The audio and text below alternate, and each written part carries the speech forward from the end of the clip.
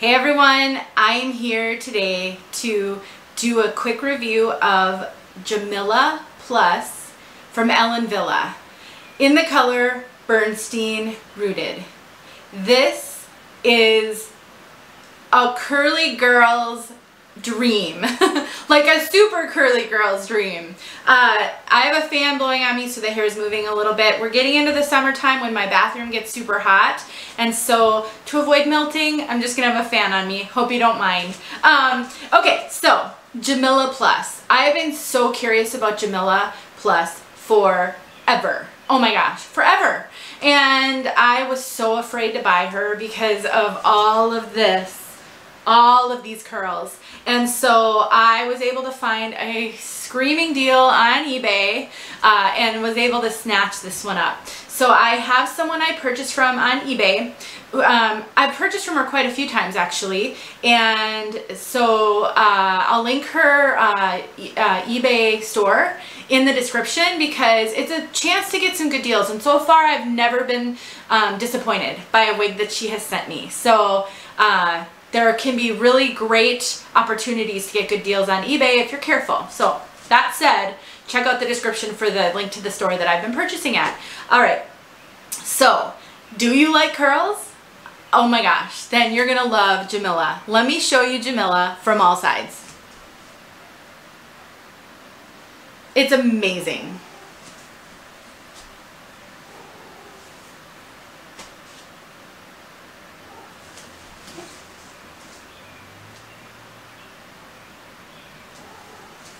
Honestly, I can't get over it. So Jamila has a lace front and no other mono features. And for the amount of curl that she has, I think it would be wasted expense for her to have a lace, or I'm sorry, like a mono part or something because you just would never see it with this much curl. So here's the lace front. It's actually really good because because Jamila's rooted and so there's some dark knotting there but not many. And the lace goes back a little ways so then you it makes it almost look like a part right there.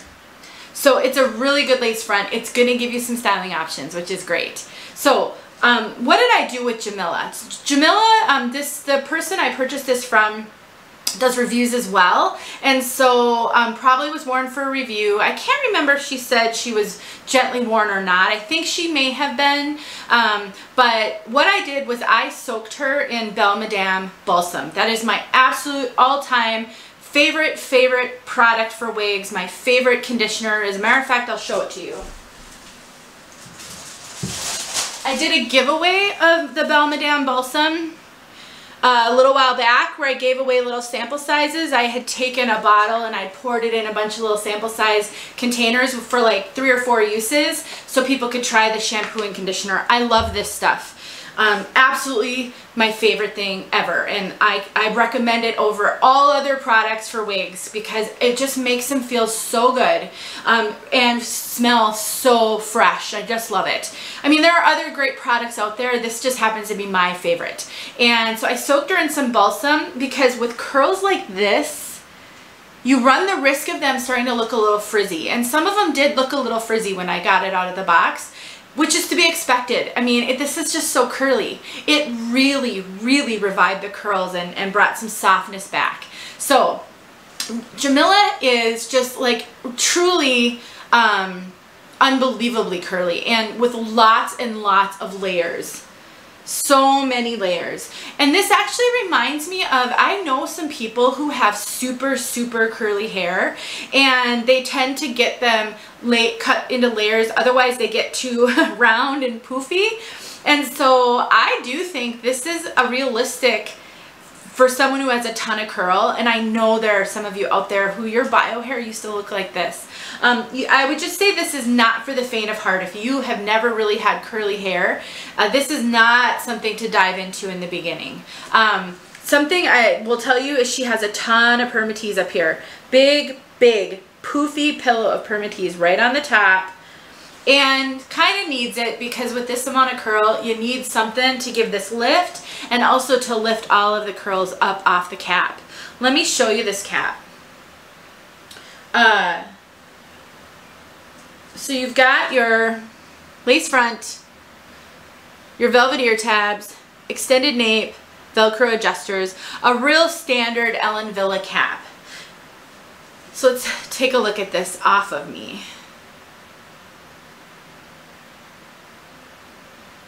It's just, I mean, I, I can't get over how stunning these curls are. This color, Bernstein Rooted, is uh, sort of a mix of a, a medium, kind of a, a medium light brown and blonde. And so it's just a really kind of dark, dark blonde or light brown color with a rooting, which is really good. It's a shadow, kind of a shadowy root. It's a little bit of a darker root, but it doesn't stand out and like it's too unrealistic. I just think that if you're, if you can do light browns or dark blondes, you can do this color. It's really, really a pretty color for summer. I have Girl Mono in Light Bernstein Rooted, and they're very similar. Actually, she's over here. Let me grab her for you.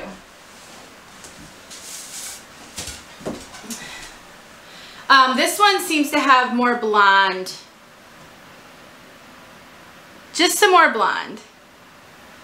But I love this color. I used to think that it would be too, um, too light for me and I've really grown over over the you know year and a half a little more than a year and a half I've been wearing wigs but if you're a brunette this one definitely has light blonde in it so keep that in mind I'll get outside for you guys so I mean that's really it I think I haven't really had much of a chance to play with her I don't know that I can wear this style like this out of the box what I think I can do is wear it with headbands. And so I may, you know what I'm to do? I'm to stop this for a second and I'm to just try to play with her a little bit and put a headband in. I'm to do it off camera because with all these curls, it is to take me a second to get them rearranged. But I, I want to show you that there's some possibilities. So hang on, let's see what I can do. Okay, I'm back. Style number one. This took me about three minutes. I took a claw clip, and I just clipped up the curls in the back. And then I took a another little claw clip and took up some of the bangs because otherwise it was a lot of hair in the front and you couldn't really see the back. What do you guys think of this style? This is actually a way that I would wear this one without question, 100%. Something I want to talk quickly about is I want to point out the fact that the fact that this is rooted is hugely helpful if you are a natural brunette and you have darker bio hair because the rooting blends with my bio hair in the back because I have a lower hairline and it's blending with that so I don't feel like it's going to show her that it's conspicuous. I don't know if you can see that. Let me grab my mirror. I have just have a lower hairline back here. But that's the dark rooting that you see. And so I feel like that's, that helps a lot. All right, guys, this was style number one. I'm gonna see if I can put a headband in. I kind of don't wanna mess this up now because I actually wanna just keep this on now for the rest of the day. I love it this way, but hang on. Okay, style number two, a bandana. So I just took a bandana, just your standard bandana, and I just folded it in a triangle and then I did other, I kind of folded it in half and then folded it in half again until I got it into this. And then I just took it from the back and I tied it up here. Now, something that I would do with this, if I decide to keep, I, well, I'm keeping this one. I'm, there's no doubt I can totally do updos with this one, is I would trim just at the nape, I would trim a little bit of the hair so I could have some tendrils hanging down and they wouldn't be as long. If you do it just at the very underside of the wig, then if you do decide to wear the wig down, that won't show, it will not be an issue. I did pull a little bit out just to give it a more realistic look. So I just feel like those pieces maybe need to be a little bit shorter. But I just kind of tucked the sides in and left out the front this time and put the bandana on. I left the clip in, so this is the same clip I had in when I had it the other way. What do you guys think? Isn't it so cute? I don't know guys. Once again, my plug for this is gonna be, if you want to experiment and if you're curious, don't give up when you get a wig and it's not exactly like you wanted it to be. This, I, I can 100% guarantee, well, I guess I can't because I've evolved in my wig journey. As of today, my belief is I will never wear this wig down, all by itself. I just don't think I could pull off the wildness of it. It's just not my style. But the first look I did and this look, 100% my style. And this is how I would wear it. And there are days I just want a messy, curly updo. And so to me, it's totally worth it. I, you know, I don't remember what I paid for it, less than a $100. And so again, keep your eye out for deals and know that you can work with them and you can mess with them and you can make them your own and that doesn't mean having to take steam or scissors to it, just accessories.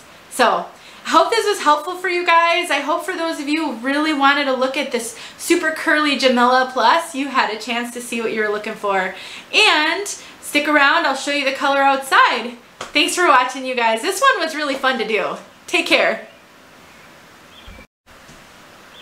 Hey guys, I'm back really quickly. I want to show you quickly what I'm to do with this one because I just thought of it. So I have one of these combs that I got on Amazon. I will link it. Um, I think they come in multi-packs. And so what I'm doing is these tendrils that are so long that I want to trim, I'm just taking, it's like a little razor comb. And I am just kind of on the very ends, I'm just kind of doing this. And I just keep doing it until I cut through. I just did it on one.